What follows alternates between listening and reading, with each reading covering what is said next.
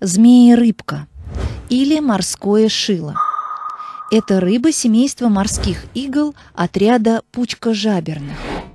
Отличается от других морских игл отсутствием хвостового и грудных плавников.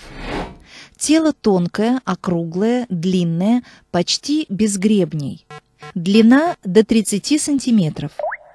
У самца на брюхе выводковая камера, в которой он вынашивает отложенные самкой 100-150 икринок.